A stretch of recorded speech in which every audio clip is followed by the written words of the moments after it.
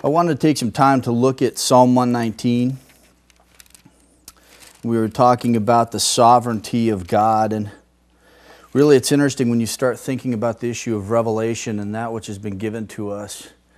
It really demands, and this is a, really a, for us uh, in our belief, the presupposition that there is a God who exists, a God who is sovereign, a God who can interject himself into history and make himself known to us. And it's interesting because Uh, as I was thinking back on Acts, and we looked through the sweep of the whole entire book and saw God's sovereignty throughout that book, it's amazing how many times God actually did intervene into history itself by the sending of messengers such as angels who set Peter free from prison and so on, just to see how God works and God made himself known and how he would make his plans known to his people. And so, along those lines, as I think about that and we think about the revelation of God, I want to spend some time thinking about the Word of God. Because really, it is an amazing gift that we have. The, the fact that we can stop each day and we can sit and we can read this, God's Word. And the fact that I can read it and I can know God. I mean, it's amazing. I'm reading through 1 Samuel, and you know, I had gone through, and I, I try to read through the key 11 books of the Old Testament because there's key 11 books, and everything else is sort of complementary to those 11 books. But it's just awesome to watch God working in history, how He guides His plan, how He leads. He makes a covenant with Abraham. He's going to fulfill that covenant. Even when Abraham tries to do things under his own power and he wants to have Ishmael be that seed, God says, No, I told you I'm going to give you a son. I'm going to provide that seed for you. But all the way through, just keep seeing God work to see His mercifulness. I mean, he did not give David what David was due without a doubt for his sin. God was merciful. God is gracious. And it's just, it's, it's awesome to me that we can just sit down and read the Word of God, that He has made Himself known to us. I mean, if we were left to our own devices, if we didn't have this revelation, all we had was general revelation, our knowledge of God would be extremely limited. We would know that He exists but there's no way that we could know Him to the depth that we can because we have this. And I wanted to spend some time with Psalms 119 and talk about the ABCs of the Word of God. And essentially, that is what we have with Psalms 119. And it's interesting because, you know, as I started thinking through this, I was thinking about the fact that we can know the Word of God so that we can know the God of the Word. And that's really what we're after. You know, I, teaching Greek and Hebrew, I try to, to, to explain and, and, to make known the fact that it's not about the language. The language isn't the in and of itself. The in and of itself is to know God and to know Him as accurately as we possibly can. And really, that is what we are attempting to do. When we come to the Word of God, we are coming to Him. We want to know Him. We want to know who He is. And we want to have fellowship and communion with Him. And we want to be molded and shaped and guided by what we come to know of Him. But I was thinking through my life, and it's interesting, several verses that, that really became important to me. The first one was way back in, in college, early years. Hebrews 4.12. You know, I can remember when we lived at Pickens Canyon on the just the, the base of the hills. And I remember my grandma McDougal came to stay with us for a while. And uh, she's always just sort of had this aura about her. She just was a godly woman. You just knew that. And I remember one day walking into Pickens Canyon, the front doors, and, and I'm walking in, and there were double doors, the front double doors, and then there was this sort of entryway, and then another set of double doors. And I walk in, and there she sits in this blue chair back in the corner, feet up on the footstool, and she's reading her Bible. And I just, those images have just been so impressed upon my mind. You know, I walk in, I see her that I remember Grandma Holly.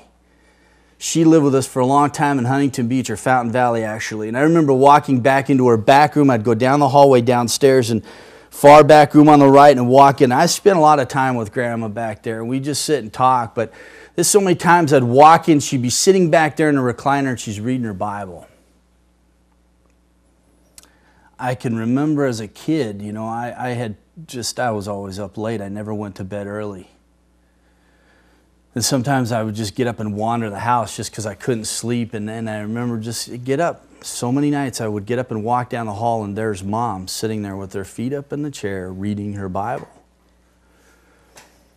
And sometimes I wouldn't sleep through the night and I would be up early in the morning and dad would get up early one o'clock and then I would walk out, same thing. I would see dad sitting out there in his suit and tie, sitting in his chair, reading the Bible before he went to work. See, all of these things made an impression upon me. What it told me was that the Word of God is vital in our life as believers.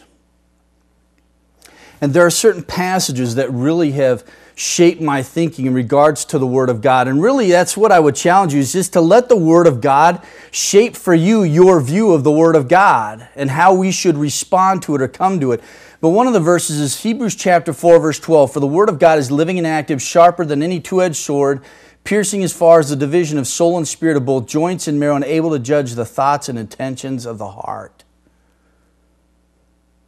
When I really first started thinking about this verse back in my early years of college, it just struck me that the Word of God is living and active.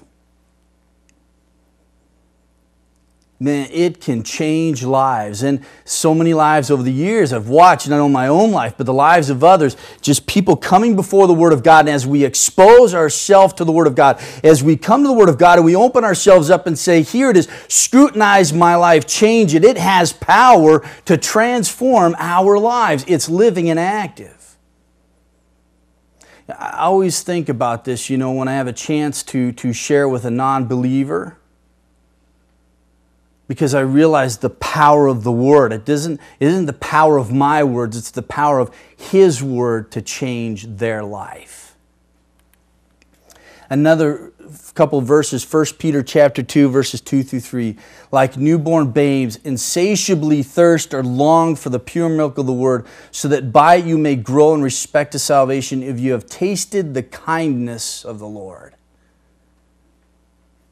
This is how we should come to the Word of God, insatiably thirsting, wanting to be fed, wanting to be nourished, having such a desire. And we read from the verses in Psalms 119, verse 5 Oh, that my ways may be established to keep your statutes, then I shall not be ashamed when I look upon all your commandments. The longing of having a life of integrity before the Word of God there is this personal, subjective desire. It's amazing this psalmist reveals about himself. Psalm 119, verses 47 and 48. I put these verses up here. I shall delight in your commandments, which I love, and I shall lift up my hands to your commandments, which I love, and I will meditate on your statutes. See, it's just letting the Word of God shape our view of the Word of God. How do we approach it? When I meditate on these things, I realize the, the, the, vitalness of being in the Word of God as a believer. There isn't a verse that I can think of, and maybe you can correct me. I can't think of a verse anywhere, at least in the New Testament, that tells us we need to read the Bible every day. But when I read Psalms 1, and that he delights in law of the Lord, he meditates on it day and night, I see that it should be something that is actively permeating our life on a daily basis. It should be. The more that I come to the Word of God, the more I realize I need to be in it on a daily basis. I need to be there in communion with God. Psalm 119 is an amazing psalm. It's one of the longest psalms in the Psalter and it's really of great intellectual achievement. I mean, you read through it and it seems really repetitious. If you try to read through the whole entire psalm in one sitting, you would think, okay, I just keep seeing these phrases over and over again. It seems repetitious, but understand it's a beautiful psalm and it's an alphabetic acrostic psalm. So I give you an example. The first stanza that we'll look at this morning, verses 1 through 8. Basically, what the psalmist did was he went through the Hebrew alphabet, and for every letter of the alphabet, which are 22 letters, he writes a stanza using every single letter of the alphabet. And so the first stanza, every single line begins with Aleph, which is a glottal stop. This is the first letter in the Hebrew alphabet. And he does this all the way through the psalm. It's amazing. It's amazing how this has happened. I mean, it's just a beautiful piece of work. It's really true poetry. And we can't get into all the grandeur of it nonetheless, but just to point that out to you that it is a beautiful hymn, and, and we have it indicated in our, in our text, our English translation. Some of them actually put the letters up there. And if you have that, you can learn the Hebrew alphabet by it. But each stanza then is based off one of the Hebrew letters. And it really is just one of the most beautiful Psalms, but the focus of it is really on the devotion to the law of the Lord. And the NASB titles this Meditations and Prayers Relating to the Law of God.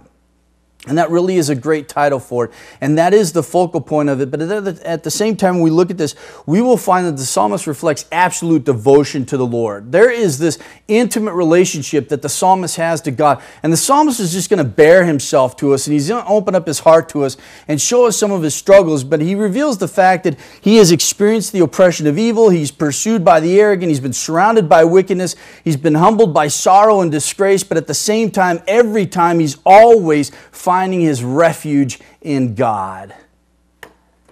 And not just in God, but in His Word. And I just read this to you. Turn with me to the, the, the verse 25 and following, Daleth. This is the stanza, Daleth. Verse 25. Verse 25 and 28, notice this My soul cleaves to the dust. Revive me according to your word. Verse 28, My soul weeps because of grief. Strengthen me according to your word. All the way through here, we see he faces these oppositions in life and he faces this suffering and sorrow. But in the midst of all of this, he keeps going to God as his refuge, he keeps going to the word of God. So much in my life, I think it just more and more it increases as the years go on that this is the place I go to find my solace. When I was overseas on a missions trip, I remember I was with a group of people and we went through training together before we left, but was in the middle of my senior year. There was so much going on. I really didn't know this group of people that well. And then all of a sudden, I find myself in a foreign country with a bunch of people I really don't know well to do ministry. And I remember it just struck me that here I am in a foreign land. I really don't know anybody. I'm, I'm, helping serve these other churches and meeting strangers and living in strangers' homes. And it really just dawned on me that as long as I have God and as long as I have His Word, I'm okay. And it really has been for me over the last few years the place that I go find solace. There have been times where I felt like my soul cleaves to the dust, and the only thing that's going to bring me life and pick me up, it's the Word of God. There are times when your soul languishes and grieves, and the only thing it's going to restore is the Word of God and His promises in it. And I would hope as we go through this psalm that again it really would shape your view of the Word of God. And, and it really is that for you, that it is your place of solace, it is your place of comfort, it is your place that you go to for refuge because in it we find out about the God that we worship, the one true God. All if it's interesting as we come to this first stanza, it begins like so many sections and it's going to deal with the issue of obedience. You know, if I were to ask you this question, why, or if someone asked me this question, why should I read the Bible every day? Simply this, verse 4 You have ordained your precepts that we should keep them diligently. God has given us our, His revelation to us so that we may be obedient to it. He has given us the rules by which we must live. He has established the order not only for this universe, but also for His people. He has given us this revelation and we are to keep it. this psalm gives appreciation to, and commendation for Israel's revelation based ethics. The psalmist has a privilege of really celebrating the fundamental reality of the Word of God. It's essential to the life of the nation of Israel. It's central, central to our life. And really, if you think about it, we should be, understand this, we should be people of the book. We really should. The Jews were known for this. They were known for being people of the book. We should be known for being people of the book. The, the, problem with the church today so often is we are people of the books about the book, not people of the book. I'm not saying you can't read these other books, but this should be the fundamental source that we go to. This should be the place that we go to on a daily basis. If we have questions about anything in life, if there's anything that we are in a quandary about, about how we are supposed to live, and do and believe and behave, this is the first place we should go to. And I've had friends who do that, you know, they're struggling in marriage, and so they go and they pick up all the books off their shelf that have to do with marriage rather than just pick up the Bible. We need to be people about the book. And the amazing thing is, God has given us His revelation. This verbal revelation, God has made Himself known to us. All that we need to know about life is right here. And this is what makes us distinct from everyone else. It really does. Not only that we worship Jesus Christ and we have a relationship with Him, but what makes us distinct is that we have the Word of God. No one else can really make that claim. We have the Word of God, the truth, and we shouldn't apologize for that. Please, we should never apologize for that fact. It's a fact. But God has given us this revelation for a purpose. And I take you to the first stanza, Aleph. And the first thing we find are some objective facts. And then I love how it starts out because it really it, it's going to entice us to get into the psalm. It's going to entice us to get into the word of God and it does this by establishing these objective facts. And few of the things I want to point out for you first is this. Blessed are those who live by the word with constancy and commitment and that's verses 1 through 3. And really 1 through 4 is really the objective facts that are established. 5 through 8 are the subjective. When we see the psalmist really then bearing his soul in response to what's happening here, but notice with me verses 1 through 3. How blessed are those whose way is blameless, who walk in the law of the Lord. How blessed are those who observe his testimonies, who seek him with all their heart. They also do new unrighteousness, and they walk in his ways. And there's some pretty heavy statements here. I mean, like verse 3, the beginning part, they also do no unrighteousness. He's establishing first the, the, the, fact that there is a state of blessedness. And, and really, it's an enviable state in one sense, if we can say that. But really, it's not even about the state nor the people, really, when we look at the psalm more clearly. But it's interesting because he begins with, with two statements. Verse 1 and verse 2 begin with Ashrei, how blessed, how blessed. Declaration. Reminds me, if you turn with me back to Psalm 1. And it's reflective of, if you will, of a wisdom psalm.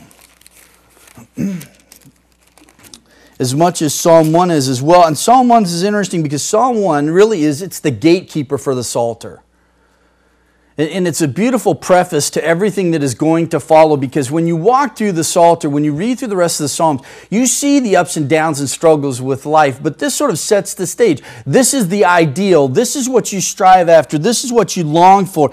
And, and really, when you look at it, this is something that, that we keep in mind as we read through it all. We come to the final end of the Psalter 150. There's just this outbreak of praise and worship, the last few Psalms. And really, that is what's going to happen at the end of it all when God can consummates his entire plan, there's just going to be a great day of worshiping and fellowshipping before the presence of God and how amazing that's going to be. And no longer we're going to be struggling with the ups and downs of life and so on, but this is really the gatekeeper of it. Notice Psalm 1, verse 1 How blessed is the man who does not walk in the counsel of the wicked, nor stand in the path of sinners, nor sit in the seat of scoffers.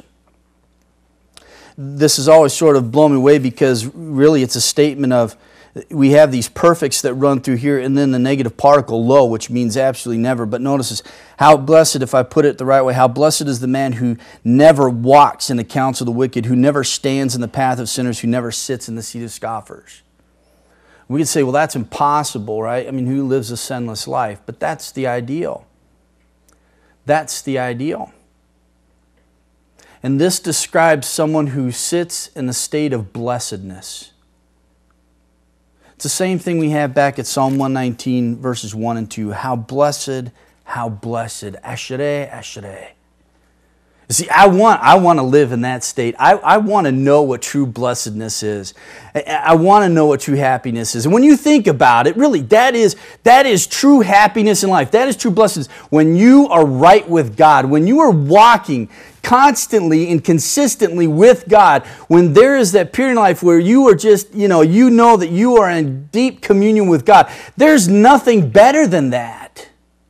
There's nothing better than that.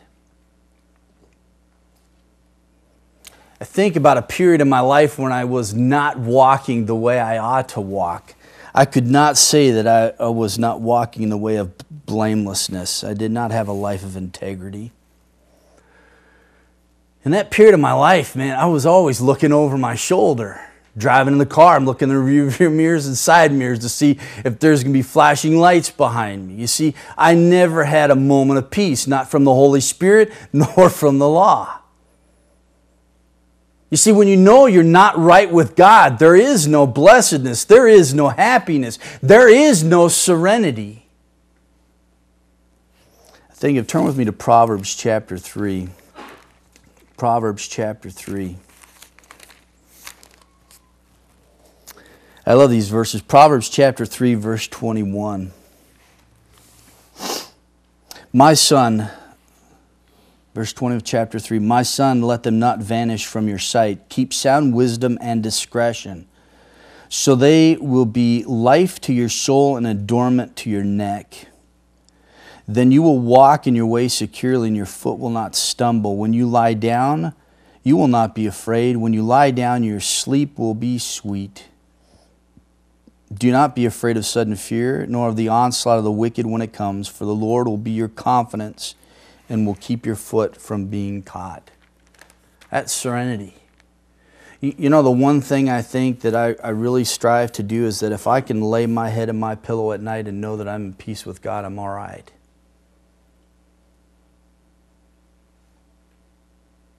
But I want to live in that perpetual state of blessedness and happiness. I want to know that I'm walking in complete commitment and constancy with God. It's an enviable state, really. We should all desire that, that to be in that state of rightness, but this is the objective fact. How blessed are those whose way is blameless.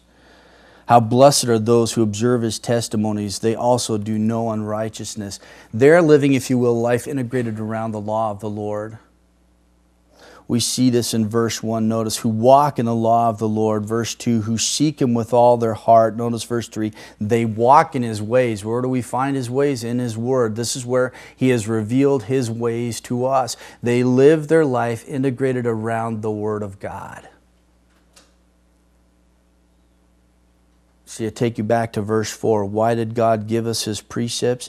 That we should keep them diligently that we should integrate our life around the Word of God, that it is His Word that guides us, that directs us, that gives us the principles for life.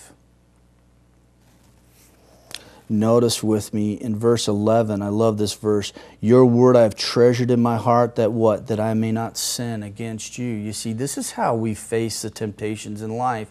This is how we face the struggles. This is how we face the opposition.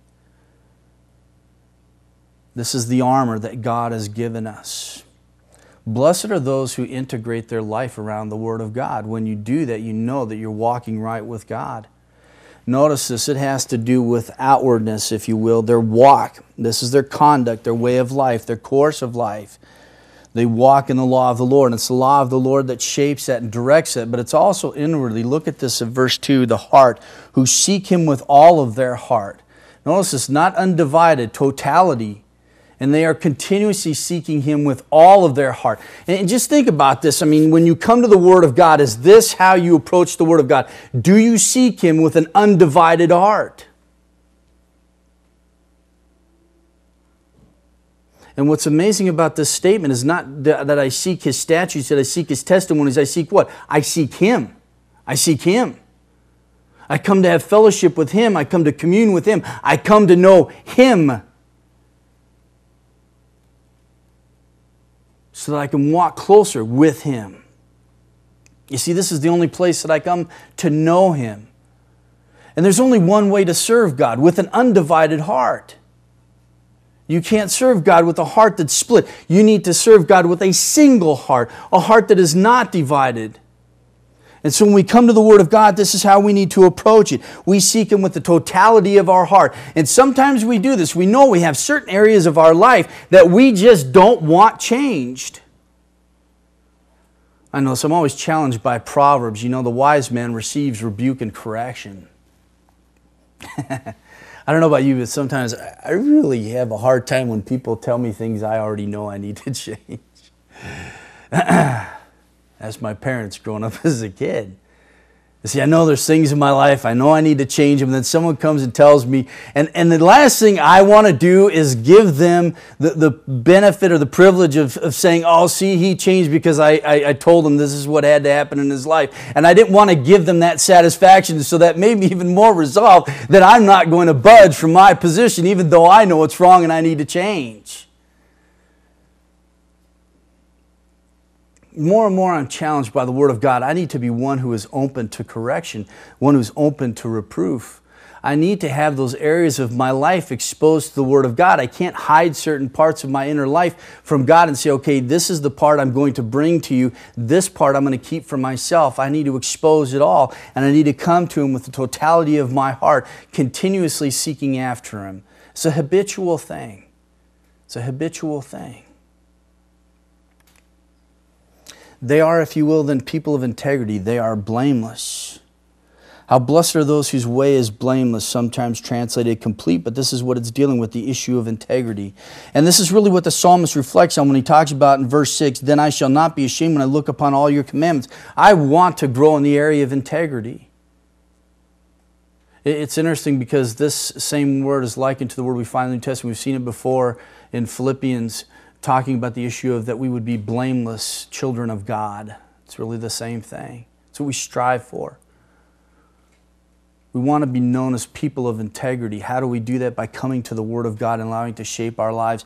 And really, when we look at these statements, these objective facts, and these statements of blessedness, it's not the people really that are being praised here. It's really the Word of God. They are who they are because of the Word of God. Notice the statements that come in verse 1. Notice those who are blameless, who walk in the law of the Lord. How blessed are those who observe his testimonies. Verse 3. They also do no unrighteousness. Here's the qualifying statement they walk in his ways. The real praise here is not the individual, it is the word of God, because if it wasn't for the word of God, they would not be subjects of these beatitudes. They would not be the subjects of these statements of blessedness. It's the word of God and what it does in your life.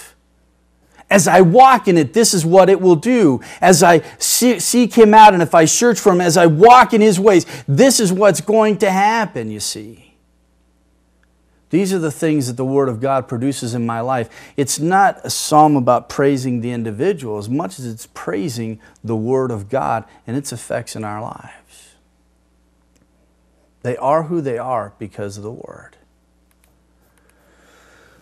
Notice this, the other objective fact, because it is His word and is intended to be obeyed. And it's an emphatic statement here, and put it for you. You yourself ordained to keep. And I love this statement at the end to keep the shmor. It, it's to watch, it's, it's to preserve, it's to guard. It's interesting because when I when I was thinking about this, it's not just the issue of hearing the word of God or hearing his precepts or hearing his statutes or hearing his testimonies. It's about keeping them. It's about preserving them. As we take the principles from God's Word and we apply them to our life and we live them out, we preserve those principles. When we pass those on to our children, we are in the act of preserving those principles. We are in the act of guarding those things. It's not just passively listening and hearing, but we actually are to guard these truths that are given to us. They are to be kept by us. You see, really, they are just cherished morsels of truth that God has given us. I love this. First and Second Timothy. John Stott wrote a commentary on, on 1 Timothy and he entitled it Guarding the Trust. Guarding the truth. That's what we do. God has given this to us. It's not just merely to hear it, but we preserve it by applying it to our life and living it out and passing it on. But this is why God has given us His precepts. He ordained them so that we would keep them. If you ask yourself, why should I get up next morning and read my Bible? That's why. That's why. The subjective longing that comes, and I love this because it, it follows on the heels of these objective facts. There is personal longing, and there should be. And it's interesting again, as we go through this psalm together, we'll see how the psalmist just opens up his heart and he, he bears himself. But notice verse 5 Oh, that my ways may be established to keep your statutes. There is a longing, if you will, for steadfastness, for loyalty, for faithfulness. You see, when you meditate on the objective facts of those who live truly blessed lives, those whose lives are integrated around the Word of God, those who live with commitment and constancy around the Word of God, you see, those who live lives of integrity, all of a sudden the psalmist breaks out and says, Oh, that my ways may be established to keep your statutes. Man, God, I wish I could be like that. I want to be steadfast. I want to be loyal. I want to be faithful to your word like that. Is that how we approach the Word of God? Is that how we come to His Word every day? Do we come with that longing, that desire to be found steadfast and faithful, loyal to the revelation He has given us, loyal to the principles that are there? Is that just a craving from the depths of our soul? And the interjection here, verse 5 is going to be met by the interjection at the end of verse 8 do not forsake me utterly. But this is just the craving of his soul, the longing of his soul, all that my ways may be fixed. The term established here is being set in one's ways. In other words, fixed as to their tendency. If I could put it this way, oh, that the bent of my mind might be fixed in the direction to keep your statutes. I want to be this kind of person. I want to live a life of integrity. I want to live a life of blamelessness. Man, I want that. You see, when I looked at those objective facts, I realized this is not me. That's not me. But see, the thing is, looking at our failures, they're not for us to sit and lull us into a state of, of, of lack of movement.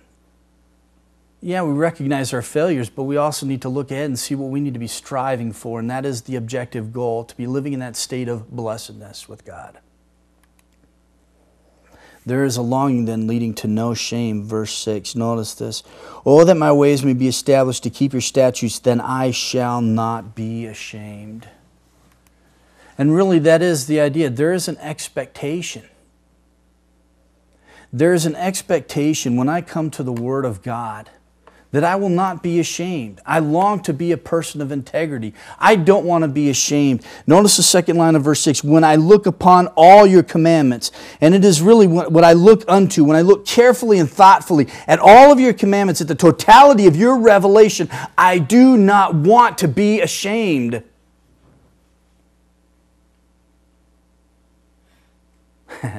How many times, man, I, I come to the Word of God and, man, I come, I'm aching, I'm hurting, my soul is grieving, and it lifts me up. Those are just awesome times of refreshment, revival of the soul. There are other times you come in the Word of God and you're reading, and it just starts cutting away at you. It starts exposing the sin in your life exposing your failures, your weaknesses, exposing you for who you really are. I suppose that's probably why some people just don't come to the Word of God. See, it's easier to live a life without coming to it, right? Because if I'm just living life in my own sight, right, of, of what I think is right and wrong and the principles that I think I had to live by, my life's going to be good. And it usually is. There are periods of my life where I, where I wasn't constantly in the Word of God and everything seemed fine to me. And then all of a sudden, I sit down and open the Word of God, and all of a sudden, God's going, No, no, no, I've got some work to do. And all of a sudden, my life is exposed. And all of a sudden, I realize I just have not been going the way I'm supposed to be going. And I find out, you know what? Ignorance is not bliss. It's not bliss. It's not true blessedness it's not true happiness.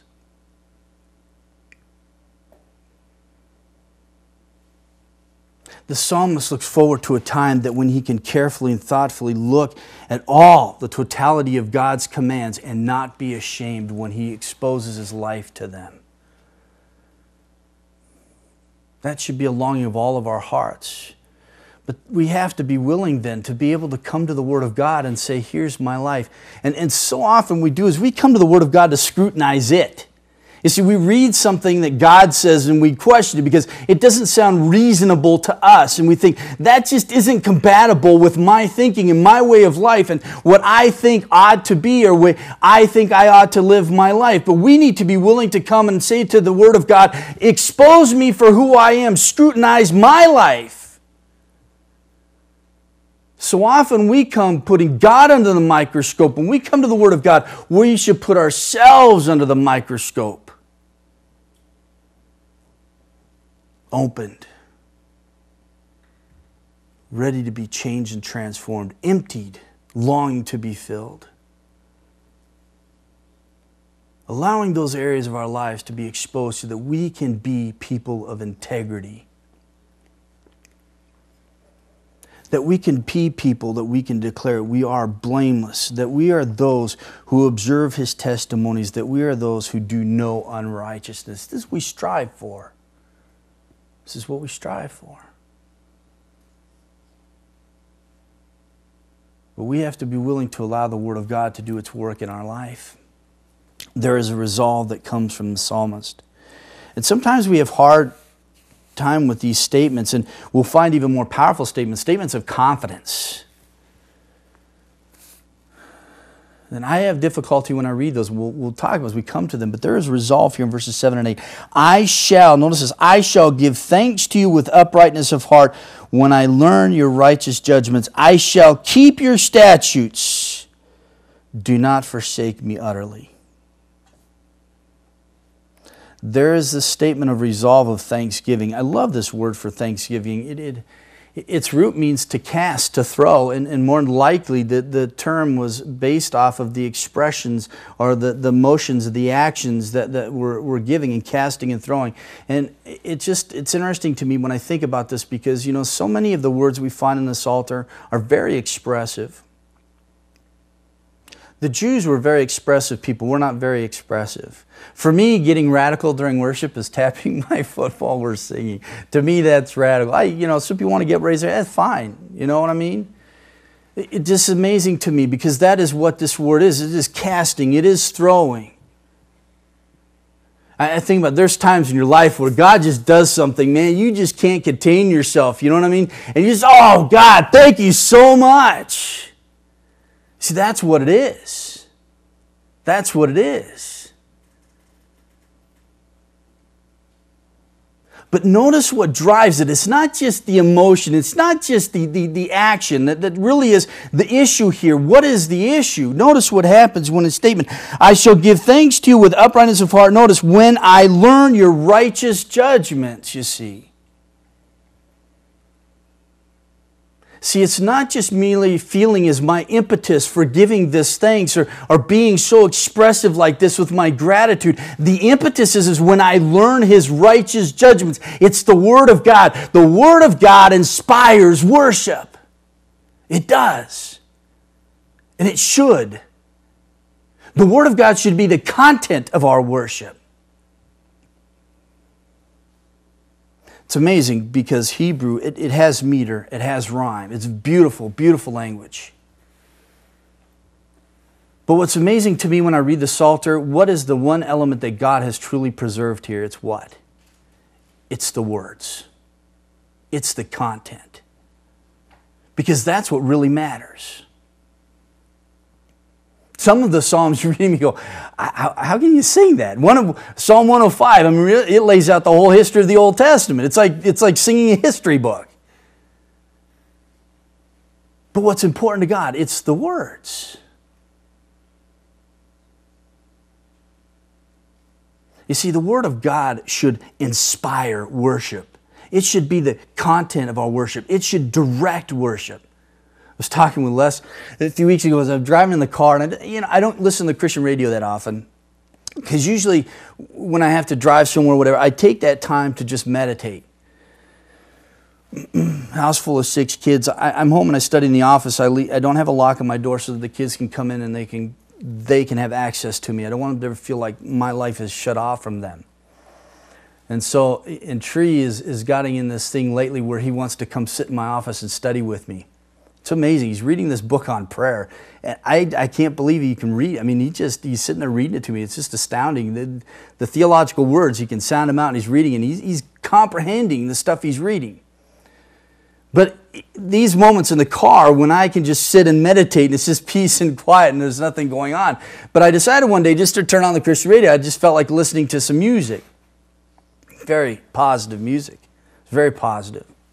Clean. But the more that I started listening to the songs, I realized I just have not heard anything about God. There's ethic to them. And they're happy, you know, get you moving in the seat, but there's nothing about God. See, it should fill the content of our songs. When we sing to Him, we're expressing our knowledge of Him and what He has done. And it also, notice, it also prepares us for the act of worship. I shall give thanks to you with uprightness of heart when I learn your righteous judgments. It prepares me to give worship to God. See, Sunday should be just an, a culmination of a week long of just worshiping God with our lives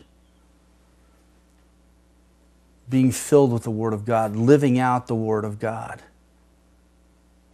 Doing these things are acts of worship to God. We do this with uprightness of heart, and we do this when we learn His righteous judgments. And the term here, righteous, it's interesting. It has to do with the established divine order for things.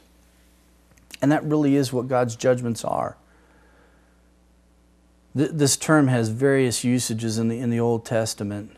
Tzedakah, it can refer to that if there is conflict between two people in the community, one is going to be just, one is going to be unjust, one is going to be righteous, one is unrighteous. There's going to be an offender in this. And, and tzedakah is to bring about order. In other words, there is a restoration, a resolve, a reconciliation that happens. And when that happens, that's what you get. You get this righteousness, if you will.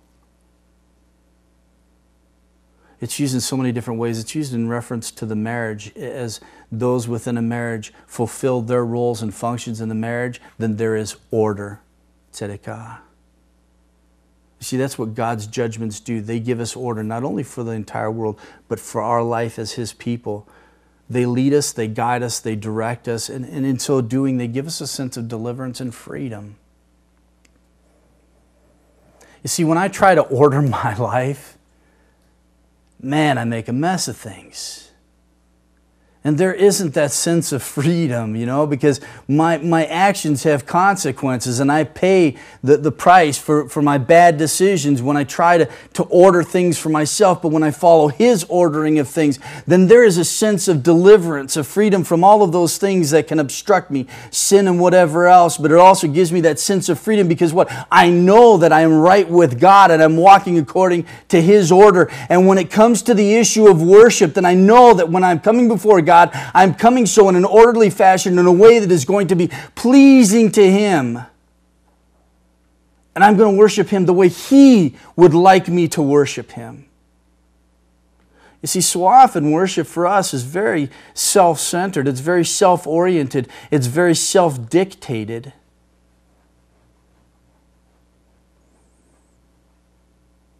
But if I'm going to His righteous judgments and allow them to establish order in my life, then when I worship Him, I will worship Him with the order that He would expect, in the way that He would expect. This last declaration of resolve, I shall keep, and we go back to that verb that we found, our word in verse 4 again.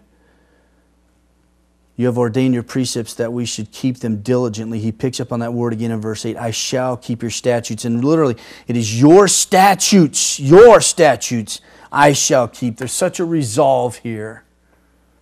You see, I've, I've reflected on the objective facts. These are those who are blessed. This is the longing of my soul. This is what I want. I want a life of integrity. I don't want to be ashamed when I look upon all your commandments. Here is my resolve I will give thanks to you, and I, your statutes, I shall keep. Needs to be a resolve. When I come to the Word of God, I need to have this kind of resolve. When I read His Word and I see His principles and precepts, I need to have this resolve that I am going to keep them. I can't come like a wafer. I can't come waffling. Come with a resolve and saying, What I see and what He reveals to me, I resolve that I'm going to keep these things. But notice this I can't do it under my own power. Notice, do not forsake me utterly. It's with Yahweh's help. You see, this exclamation is, is, is prefaced by the exclamation in verse 5 Oh, that my ways may be established to keep your statutes. I resolve that I shall keep your statutes. Do not forsake me utterly. Lord, I can't do it alone. Don't leave me. Don't leave me.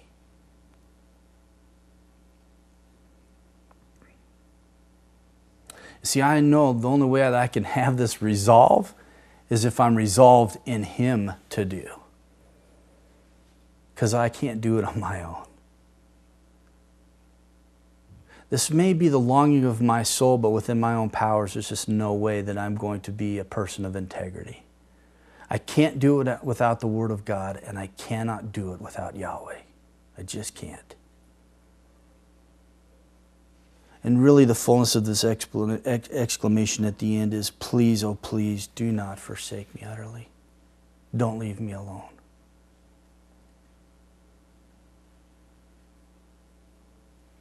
It's beautiful starting to this psalm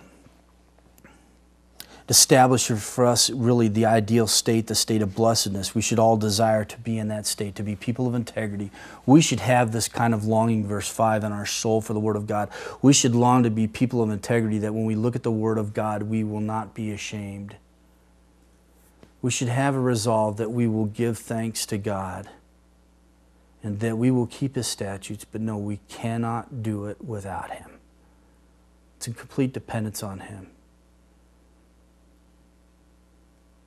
May the Word of God shape our view of the Word of God.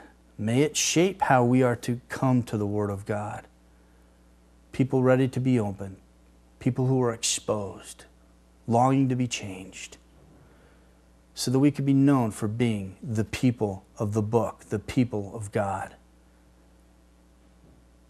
May we know the Word of God so that we may know the God of the Word. Let's pray.